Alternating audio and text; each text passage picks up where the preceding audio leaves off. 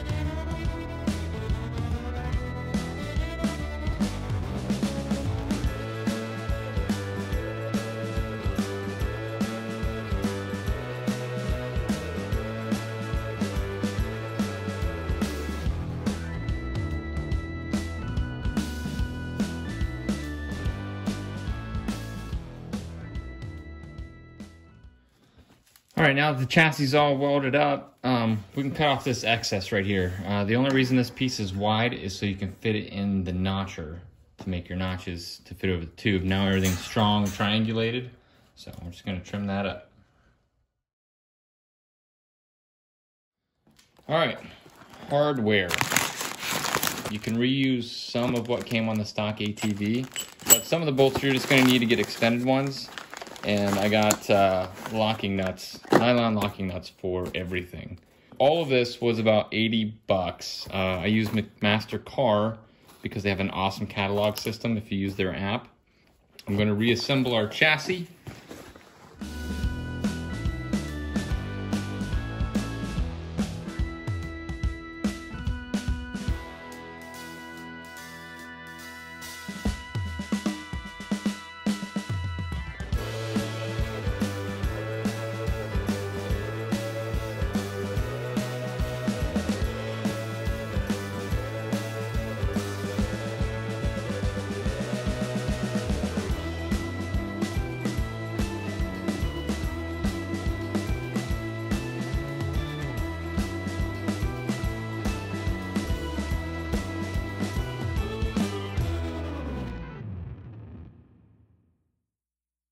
Alright, so here's an example of what can happen uh, after you do your final weld.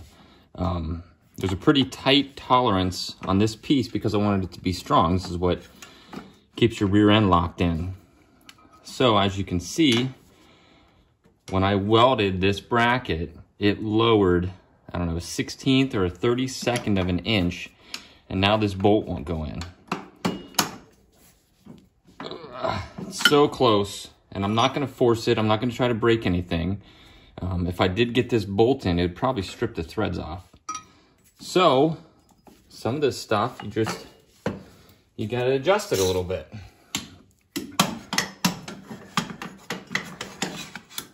So, I've got my wife's scissor jack out of her car.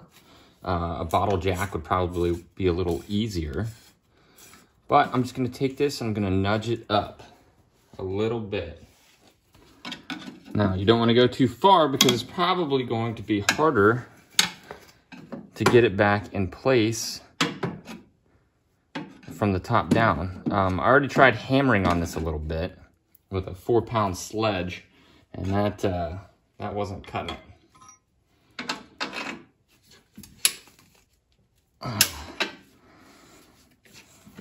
Ah, let's see what that did. That was only about a turn. Let's see if we're getting anywhere.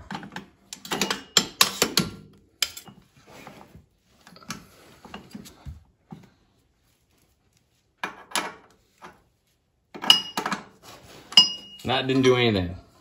In case you wondered the strength, this is just one inch tubing. This is made out of one and a half and one and a quarter inch tubing. So you can see the strength on this stuff is pretty awesome.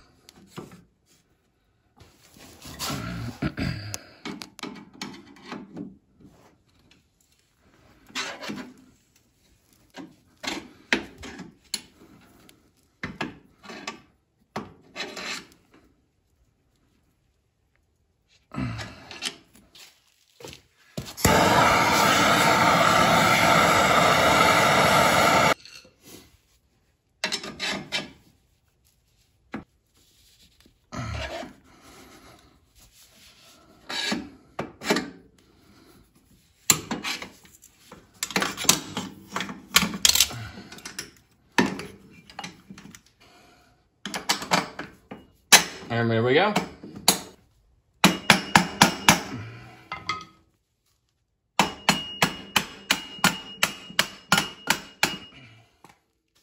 Beautiful. So here is a subscriber's chassis in progress. Uh, he might be building it better than I am. It looks really, really good. And I'm, I'm really, really happy to see this in, in somebody else's garage. It's pretty cool. Sorry there's no end monologue on this one. Uh, I was finished for the day and just forgot to shoot one. So, thanks for watching. I'll see you on the next one.